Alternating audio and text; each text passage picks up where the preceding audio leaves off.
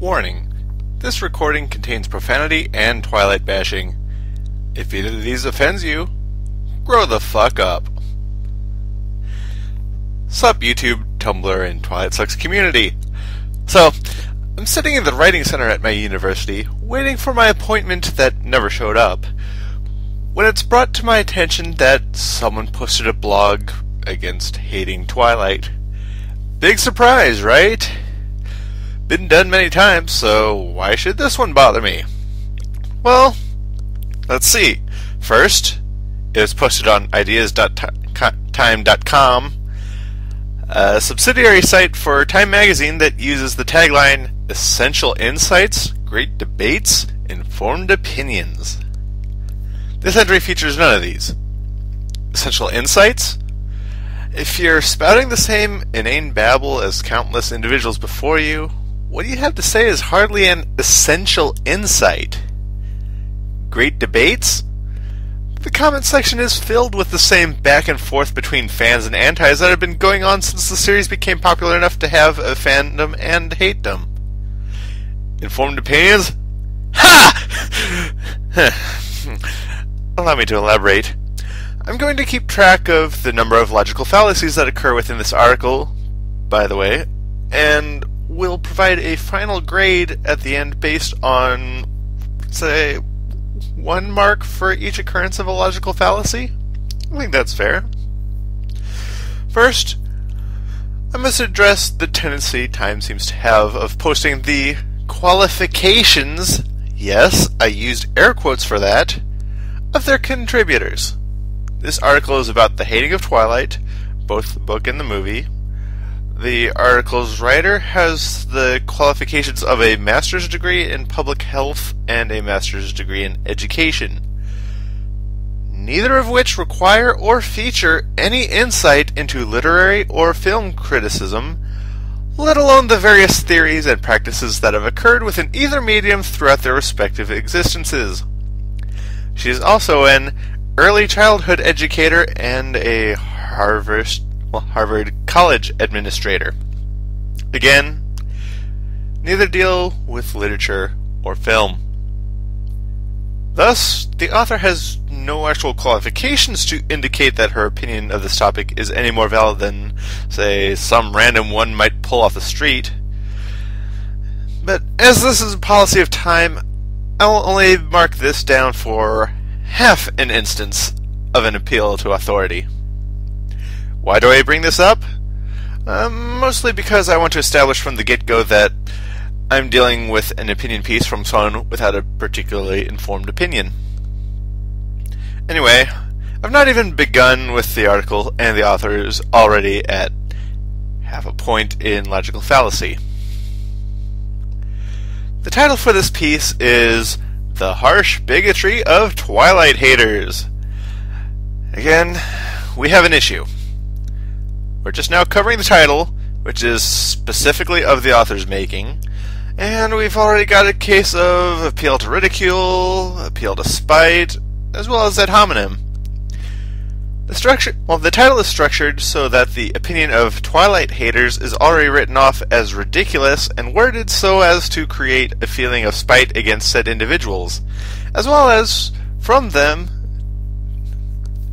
toward fans not a good idea.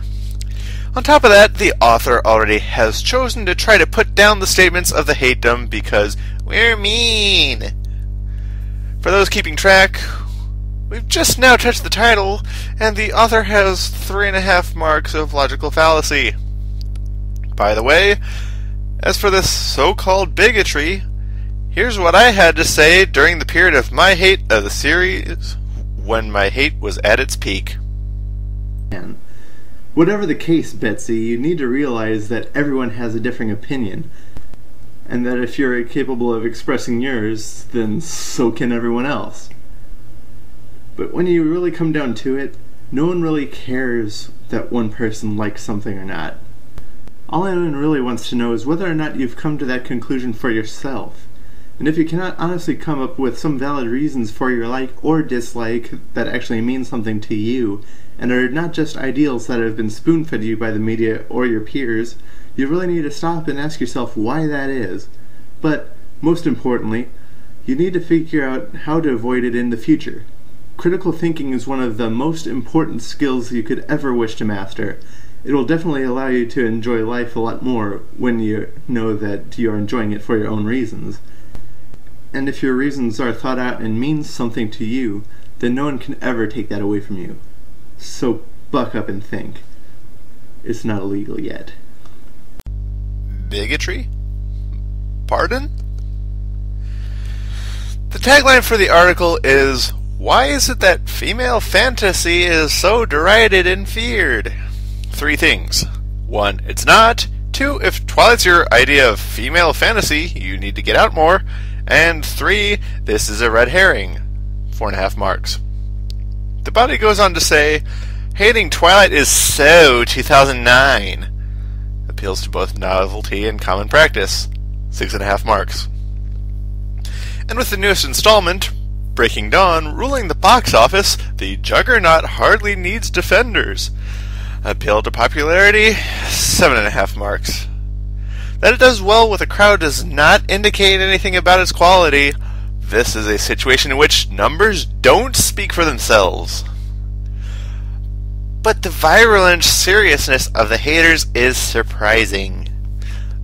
If you can recall it being present back in 09, uh, this shouldn't be so. Many of the reviews have heaped disproportionate and moralizing scorn on an Oscar winning director's fantasy enactment of a young girl's dreams and fears. First, the scorn is exactly proportionate, and I'm being generous on that. Moralizing? I think that's appropriate too, considering the film features the character Jacob falling in love with a newborn baby, which is pedophilia for those who aren't up on their moral discussions, and it creates an extremely polarized and uneducated treatment of the abortion topic, which is an extremely sensitive moral topic. That the director won Oscars is relevant to the film, which is another red herring. Eight and a half marks.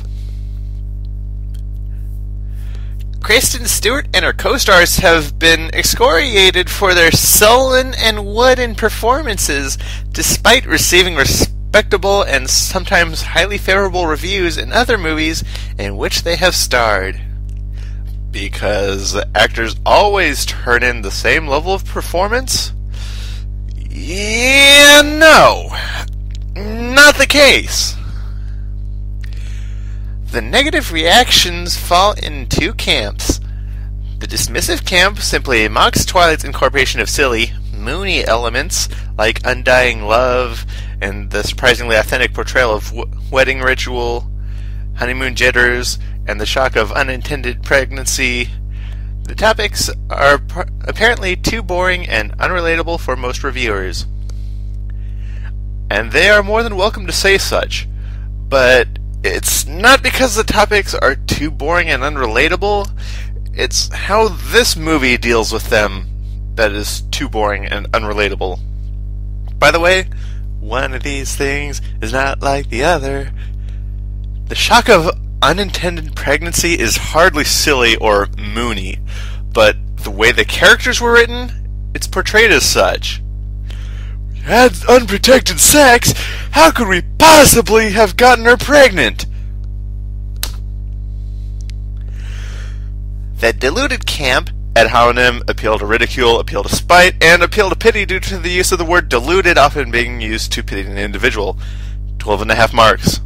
Conversely, takes Twilight far too seriously. Appeal to ridicule and spite and ad hominem. Fifteen and a half marks. Faulting it for leading young girls to mistake fantasy for reality in dangerous, disempowering ways. Been to the Twymoms forum? If it can do that to adults, I can only fear the toll it's had on younger individuals. Except I recall a good number of the encounters Antis have had with fans, so I can imagine quite readily that this claim is not nearly as absurd as you would like to believe. Now, obviously, the fandom as a whole isn't like that, but it's not outside the realm of possibility, considering it's happened. It makes you wonder if some people missed the memo that hundreds of millions of females, like their male counterparts, enjoy the fantasy life straight up weird, sexy, and implausible. First, appeal to belief, appeal to common practice, appeal to popularity, appeal to ridicule, bandwagoning, bias sample, hasty generalization, spotlighting, ad hominem, and ad hominem to quote. 25 and a half marks. Second, fiction reflects reality in some way. Fantasy is a form of fiction.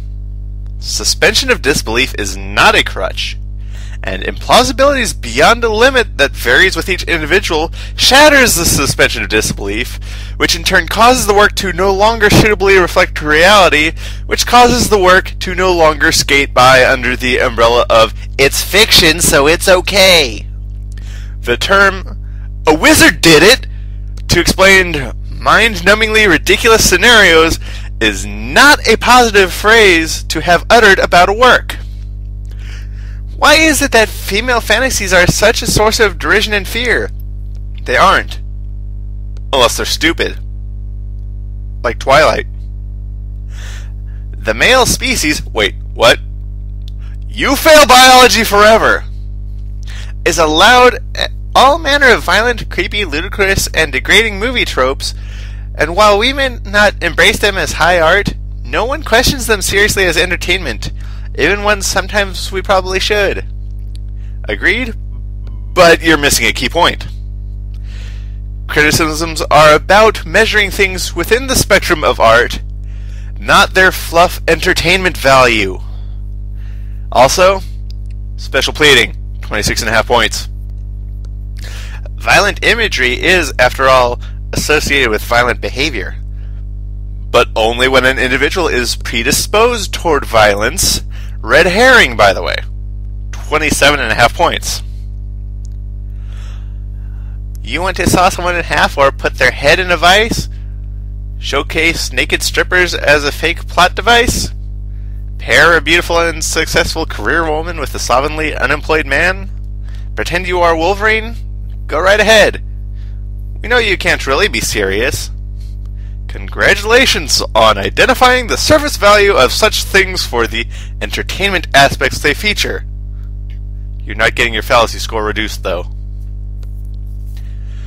But watch a tender wedding night between a virginal undead superhero and his teenage human bride, and the scolds come out in force. Wait, are we still talking about Breaking Dawn? Brooding Edward, who killed numerous people because they had bad thoughts, is not virginal.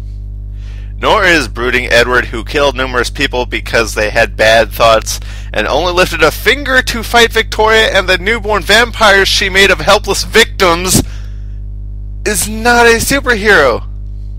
And he only lifted that finger because they threatened Bella not because they were endangering the countless other civilians in, well, name of the town escapes me, but yeah, you get the point. But yes, some people are turned off by the thought of necrophilia. How is this surprising? Plus, need I remind you that we're dealing with someone over a century old who's banging someone you yourself call a teenager? When people say age is just a number, they're not talking about wanting to bang someone old enough to be their great grandfather, you know. Are parents worried that their teenage daughter actually wants to be impregnated by a hundred year old vampire who can crush a headboard with his hands and perform an emergency C section with his teeth? Probably not. So, strawman and red herring, 29.5 points. Maybe part of the reason critics deplore these movies is not only because they are so unfamiliar with kooky heterosexual female fantasies, but also because they don't really like what these fantasies say about men. Strawman, 30.5 points.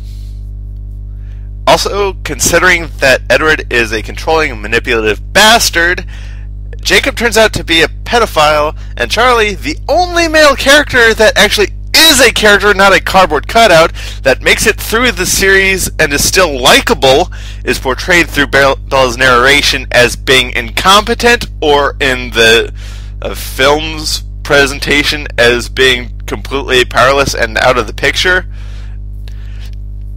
Uh, yeah, the critics would have a point when saying that the books aren't particularly male friendly. And seriously, you should stop trying to use female fantasies, let alone heterosexual female fantasies, as though it were one and the same with what Twilight offers. There are plenty of heterosexual females out there that don't like what Twilight is selling. The discomfiting, spell check anyone, reality of the Twilight phenomenon is the way it strips off the veneer of detente between the sexes. Wait. Don't tell me you're one of those who think that all this time society has only been pretending to get more egalitarian between male and females. Granted, there's a lot further to go, but that you're even posting your opinion online and have two graduate degrees as well as an administrative job in Harvard is a testament from your own personal life of the progress that's been made. For all the progress we promised our daughters, women's bodily experiences mark them in ways not only unimaginable, well, yeah, physical activities tend to have a way to leave marks on the body, but also uninteresting and even repulsive to men you don't want to hear about our bodily functions, so that we don't want to hear about yours, it's a fair trade off. When was the last time or only time you saw a movie that featured menstruation? The Runaways, directed by a woman. Well, I was going to say The Reaping personally, but The Runaways, by the way, was also released just last year, so what's your point? Also, Breaking Dawn Part 1 is the second Twilight film to be released since The Runaways, and the closest Meyer ever got to mentioning menstruation was in answer to a question for Q&A. So this little aside has nothing to do with Twilight. Red herring, 31.5 points. Most mothers know the sense of their body being taken over by aliens. The host movie hasn't come out yet, you know and more than 500,000 women still die in childbirth every year worldwide. Is it really so surprising that we wouldn't be drawn to Bella's gruesome tribulations? If the experience were truly that gruesome, why would you be drawn to it? Other than, of course, for the shock value akin to, to borrow one of your examples, sawing someone in half. Which, by the way, was one of the instances of something being entertaining that you indicated should be questioned for its entertainment value. Way to go! For all its tremendous ick factor and craziness, the vampire hybrid delivery captured with excruciating realism the desperation on poor Edward's bloodied face that attends a birth when things go badly wrong. You could have just said badly, you know, when things go badly, that indicates that they went wrong. By the by, those of us in the hatedom are actually applauding how viscerally the birth scene was portrayed. I think you're confusing the critics with the hatedom, which the hatedom was what you addressed in the topic.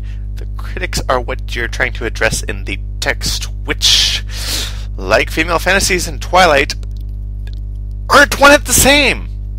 So, guilt by association, 32.5 points. You could hear a pin drop at the screening my daughter and I attended. Probably because the normally screaming fandom was having trouble coming to terms with the reality of what they'd read however many times. The gothic horror felt more palpable because it merely exaggerated rather than imagined sui generis I do believe you need to refresh your memory on what that term means, as it doesn't apply here. What many women go through every day. We share no blood. Congratulations. So do men. Your point? The other thing women know all too well is the lurking danger of men. Huh. And here some of the feminists in the Twilight Sucks community had been trying to claim that the man-hating form of feminism was just a matter of propaganda spawned by those opposing the movement. Interesting. Which, by the way, brings us ad hominem, appeal to spite, appeal to fear, appeal to emotion, guilt by association, personal attack, poisoning the well, misleading, vividness, red herring, and spotlight. 42.5 points. By the way, I'm personally not opposed to feminism, the idea. It's just the misandry that often gets confused with it by like people like this author here that I have a problem with. Going for women's rights? By all means. As long as you're boosting it toward equivalence, good. No problem when you're trying to use women's issues as a way to demonize men. No! Equality, man! Gotta go for equality! Anyway, moving on. The idea of a wildly earnest romantic lead who isn't demanding oral sex in the high school parking lot and who happens to look like Robert Pattinson is all very appealing, no? Yet our perfect vampire man, alas, also has the capacity to inflict serious harm.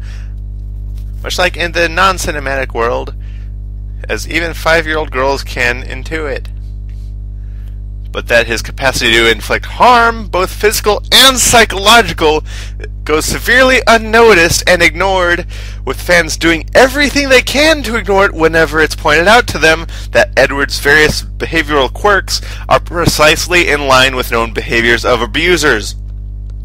How's that play into your fantasy of a wildly earnest romantic lead? Do your fantasies involve being hooked up with a guy that'll break your car so you can't hang out with your friends? You don't have to read Steven Pinker's fine new book on violence, The Better Angels of Our Nature, to grasp that women have always been its singular victims. Uh, women have been the singular victims of violence? Excuse me? Did your degree not require you to study any form of history? Have you not been watching the news at any point within the past few weeks, let alone decade? Red herring, by the way, 43.5 points. The devastating power of rape, which results in pregnancy 5% of the time, according to a 1996 study in the American Journal of Obstetrics and Gynecology, is its ability to change the progeny of a woman forever. Couldn't find a more recent study? Also, are you talking about progeny collectively or the individual involved with the rape itself? This threat often clouds our real lives, and it certainly clouds our confused notions of entertainment. Um, being aware of the existence of rape clouds notions of entertainment? If anything, I should think it would make you much more astute at selecting what forms of entertainment you deem to be worthwhile. Is it any wonder that the young man whose heart Bella tosses aside for Edward is, you guessed it, a wolf? Not at all, considering that it was poorly foreshadowed from the start. And yet Jacob is still consistently portrayed as being the much better choice than Edward, barring, oh, uh, barring of course, the pedophilia and that one scene in Eclipse. Your point? As one of my jaded neighbors once opined, all men is half dog. Oh wow. Besides the grammar fail, let's go down the roll, shall we? Ad hominem, appeal to authority, full this time, appeal to ridicule, appeal to spite, bias sample, guilt by association, hasty generalization, misleading vividness, personal attack, poisoning the well red herring, special pleading, and spotlight. 56.5 points. If this offends you, take a number. Nah. Other than counting the fallacies that heaped in onto your score, I'm jaded enough for it to not bother me. I'd already braced myself due to your prior inclination towards Miss misandry, so you can't count the fucks I give because counting starts at one. Women have long endured men's insulting and unhinged fantasies. Just lie back and enjoy the estrogen drip. No thanks. Also, ad hominem appeal to ridicule, appeal to spite, bias sample, guilt by association, genetic fallacy, hasty generalization, misleading vividness, personal attack, poisoning the well, red herring, special pleading, spotlight, strawman, and two wrongs make a right. 71.5 points. Congratulations! If you are taking a test to see how fallacious your logic were, you'd pass with a C minus. But since you're trying to provide an informed opinion, spark a great debate, or otherwise provide an essential insight, we'd have to view these points as negative, which means you have a final grade of 28.5%. Whoa, F minus. You had some comments that weren't flawed logically, so that's a good thing. However, you never actually address the criticisms of the series to establish if they're valid or not. You never actually reveal any sort of bigotry on the part of the Hateum, which I can attest. There are some within the Hateum that are bigoted against the fans, but that there are some does not in any way indicate that we are all like that. Much of the Twilight Sucks community, for example, doesn't give a damn that someone enjoys the series, as long as they don't go around trying to claim that it is any way intelligent or a form of high art. You never actually cover the matter of your topic, nor do you find an answer to your title subtext. This leads me, of course, to conclude that you don't have a clue what you're really trying to say other than men are evil. But hey, having already established that you weren't qualified to talk about either film or literary art, I'd been expecting this from the get go. Try learning a thing or two about either artistic medium, then come back and try to has a, have a reasonable blog about whether or not the criticisms are unwarranted. Okay? Thanks.